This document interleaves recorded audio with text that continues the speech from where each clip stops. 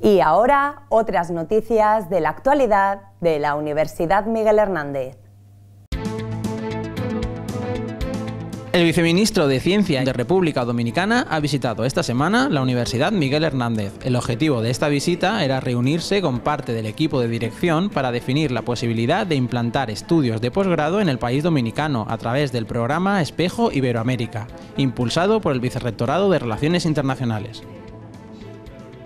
El rector de la Universitat Miguel Hernández, Juanjo Ruiz, i la vicerrectora de Relacions Institucionals, Maria Teresa Pérez Vázquez, han visitat les instal·lacions de l'associació Parkinson Edge.